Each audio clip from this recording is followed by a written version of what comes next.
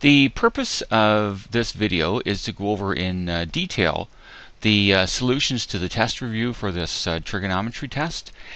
And uh, the trigonometry test that this uh, covers is all the right angle trigonometry. Some people refer to as SOHCAHTOA, uh, sine, cosine, tan for right angle triangles, and also the sine law and cos law. So we're going to start with, uh, in part one here, five multiple choice. And number one says in a right angle triangle, sine equals, sine theta equals, and sine is opposite over hypotenuse. If you're using the acronym SOHCAHTOA, sine is opposite over hypotenuse. So that's why the answer for number one would be C. In a right triangle, cosine theta, or whatever angle you're using, is equal to, and it's uh, adjacent over hypotenuse. So that's why D would be the correct answer for number two. For number three, uh, the sine of the angle is uh, equal to 0.2356. And so, in order to evaluate this, we would take the, and there's two ways to say this, it's either the inverse sine or the arc sine of 0.2356 two, three, five, six. And it says 13.6 to the, to the nearest degree, that would be 14 degrees. So that's why A would be the correct answer for number 3. For number 4, which of the following correctly states the sine law? And notice in all these I have the sine in the numerator. If you want to write them always in the denominator, that's okay. But any way you write it, if you write the sine of a particular angle, and uppercase letters represent angles, so if I say sine angle C on top, it should be side C, the one opposite below. So you wouldn't have sine of angle C over side B. So that's A is incorrect. For uh, B here, B is the correct one. It says sine A over side A equals the sine of angle B over side B. That's a correct statement of the sine law. C is not right because it has a sine B over side A. And in D, it looks like we're taking the sine of sides. Uh, lowercase b or c would be sides. Lower uppercase is uh, angles. So D would not be correct either.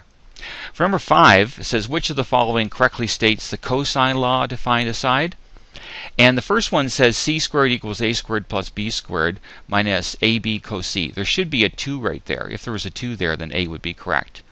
In b, a squared equals b squared plus c squared, and it has the 2, but it has a plus. There should be a minus here. It should be minus 2bc cos a. C is the correct one. b squared equals a squared plus c squared minus 2ac, the same two sides that are here, times the cosine of the angle opposite the uh, b side over here that's squared. D is actually a correct statement of the cosine law, but it's solved for cos c, so this is what you would use to find an angle, not a side in uh, part two, and all these grayed out marks represent uh, the typical marks you would have on a test. That's why they're grayed out. This is just a review, but just to show you what these kinds of questions would be worth. So these are application questions, or marked as application questions in number one. In uh, number one here, it says determine the value of the unknown side x to the nearest tenth of a meter.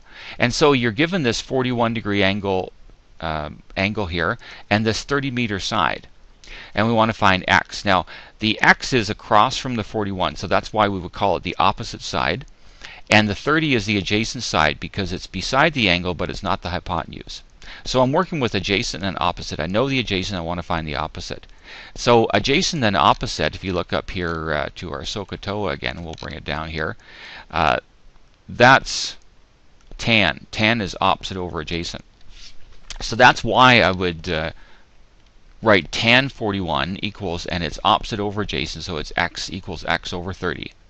And I want to uh, isolate for x here, so what I would do is I would multiply both sides by 30. This is how you would algebraically isolate for x. So those 30s divide out, and you're left with x alone here would equal 30 tan 41. So we're actually multiplying 30 by the tan of 41.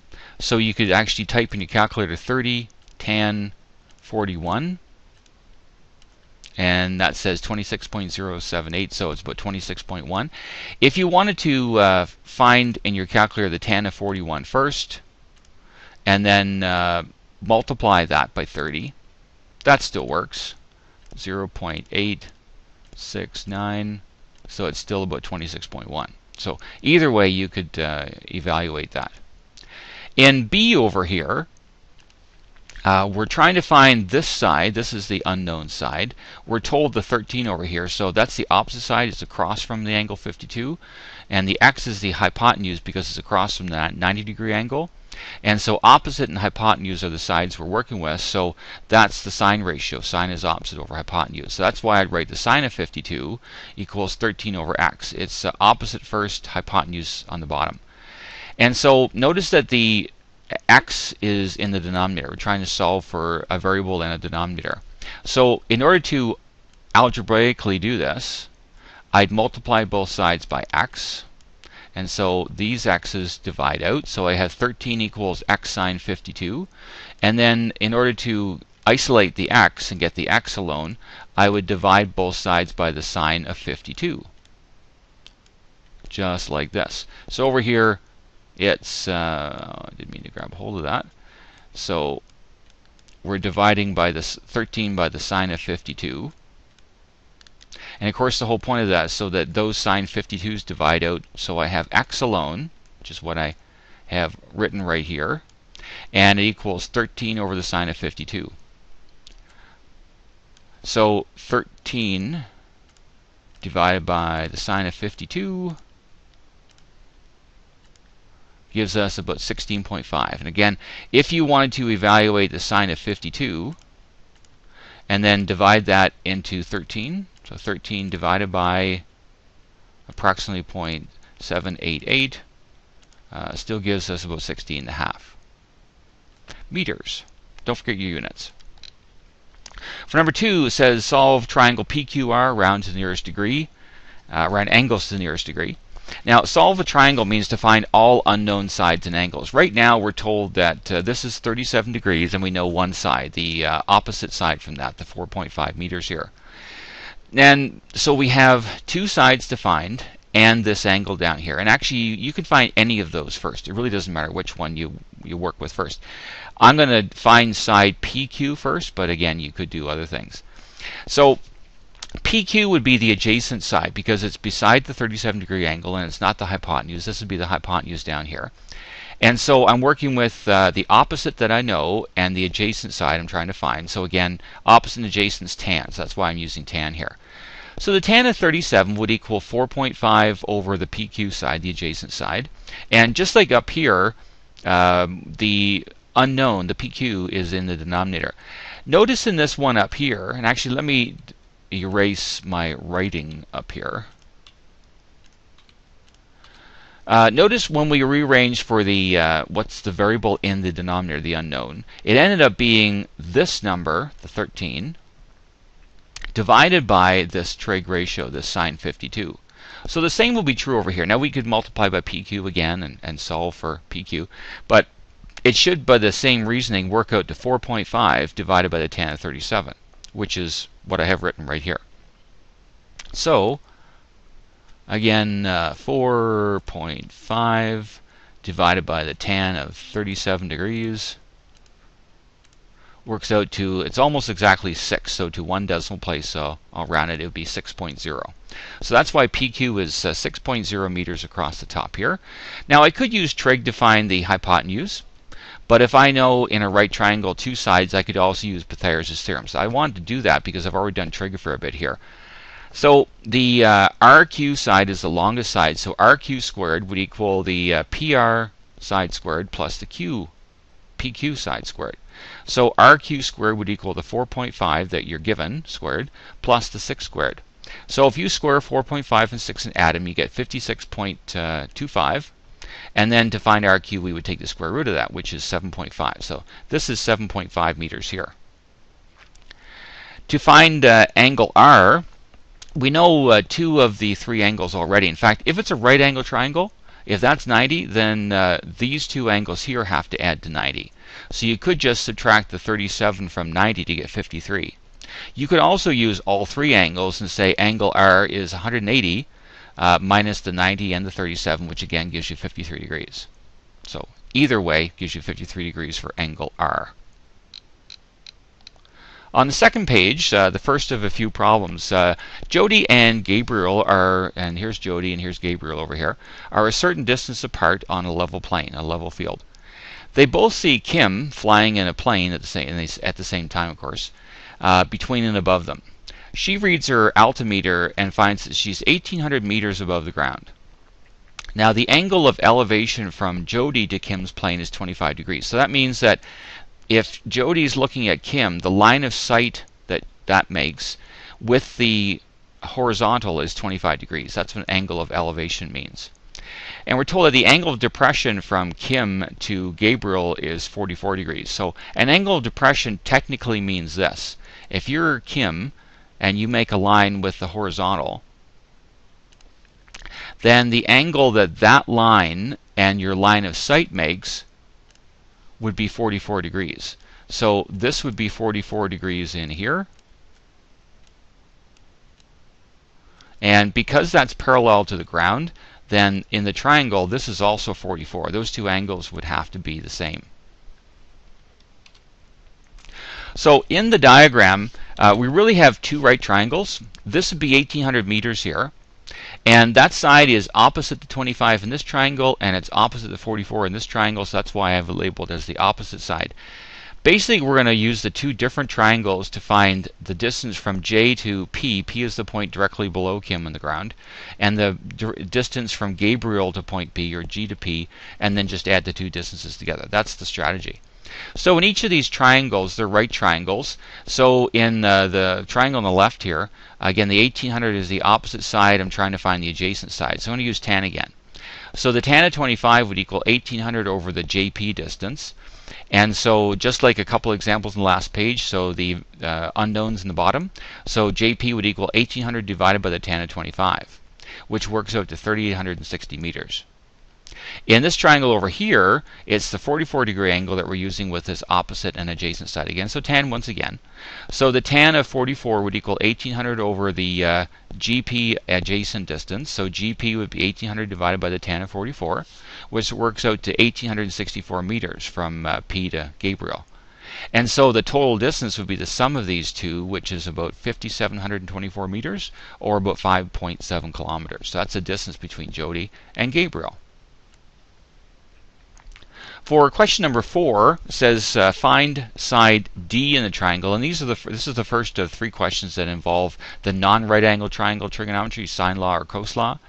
And so in this triangle, you're asked to find side D. D is uh, opposite the 40 degree angle that uh, is labeled with angle D here. And so in this triangle, you're told uh, angle D and angle B and its opposite side. Now, as soon as I see an angle and an opposite I know the opposite side, I start thinking sine law right away. Because that's the way sine law is set up. It's uh, set up with, if you go back up to the multiple choice question here, remember sine law is uh, the sine of an angle over its opposite side. And, and in order to use the sine law, you need to know, and I call it an angle side pair, where you know an angle and the side opposite it, in order to use, in, in order to be able to find another uh, angle or side. So in this uh, triangle, I'm trying to find D, so uh, the angle opposite is 40. So in order to use the sine law to find a side, you do need to know the angle opposite. So the sine of 40 over D, this is the angle D here, would equal the sine of 51 over the 36.7 side. So this is actually sine of angle D over side D equals the sine of angle B over side B. So in order to find D, D would be the pro equal the product of 36.7 times the sine of 40 and then divided by the sine of 51. So you could evaluate this in your calculator like this. So you actually could type in 36.7 and you don't have to in these calculators uh, punch in the multiplication symbol there. So 36.7 times the sine of 40 divided by the sine of 51. And so about 30.4 kilometers would be the distance for D. Again, you could do each of these separately and go 36.7 times that decimal divided by this decimal, and you will get 30.4 kilometers. For number 5 here, determine the uh, length of side D. Again, we're calling it D in the triangle again. And in this case, we're told the other two sides and the angle between them. So when you have a side and then an angle and then the next side in order, um, and you want to find the other side, the only unknown side, that's the situation that tell uh, that is modeled best by the cosine law. If you know two sides and the angle between them, which is what we have here, uh, you can find using the cos law the the side opposite that angle. So notice, unlike this one here, I don't have an angle side pair because I have a, the only angle I know, I don't know the other side. So that's why the sine law will not work here. Uh, so we would have to use the cosine law. But that's what the cosine law is designed to find. A side if you know the opposite angle and the other two sides. So it's d I'm trying to find. So d squared equals, uh, and the other uh, sides are called b and c. So d squared equals b squared plus c squared minus 2bc cos d. Again, this is the angle opposite that side. So b is the 4.3 side, so 4.3 squared here. C is the 5.8 side, so 5.8 squared here minus 2 times the 4.3 times 5.8, and angle D is the 61. So in your calculator, we would square this, square this. Now, very important that you, okay, so we can do the 4.3 squared plus, and actually you can actually type the entire thing in here, but I want to show you something. So that's actually this part right here evaluated. Afterwards, you subtract from that the product of all this. So you have to make sure you do the 2 times 4.3 times 5.8 and you also multiply that by the cos of 61. So basically the 52.13 is this part up to here and then we're going to subtract from that the 24.18. So 52.13 minus 24 point, and I'll round to two decimal places. Okay, so 27.9. So that's where that decimal is coming from. This uh, has more digits in it because I, I didn't do any rounding at all in this calculation. So d squared equals that number, and then to find d, we take the square root. So the square root of, and actually we'll just type in, instead of using the last answer, 27.95. And so the distance is about 5.3 kilometers. In question number six here, we're asked to calculate the size of angle B, this one right down here. And notice that we're given all three sides, but no angles whatsoever. So you can't use the sine law because you need to know uh, a side angle pair, and we don't know any angles whatsoever. The cosine law, and this is similar to that last uh, multiple choice question with one of the, well, sort of incorrect answers. Um, the cosine law can be used to find an angle if you know all of the other sides, all of the sides. I shouldn't say other sides if you know all of them. So if we want to find angle B, then it would equal c squared plus d squared minus b squared. So notice the one that you're squaring and subtracting is the one opposite the angle you're finding over 2cd. Notice that these are the same two sides as the c and d up here. And so when you do this, it's very important to make sure you calculate this correctly. I just substitute all the numbers in from the triangle here. So in the in the numerator in the top, it's 9.3 squared plus 5.9 squared minus 7.4 squared. So that works out to 66.54. In the denominator, we have 2 uh, multiplied by the 9.3 times the 5.9 side. And so that's that number. So 66.54 and then divided by the 109.74. So that's where the 0.6063 comes from here. And in order to find the angle then we would go uh, inverse cosine of uh, 0.6063. And that gives us an angle of, to the nearest degree, about 53 degrees. And that would be the end of the review.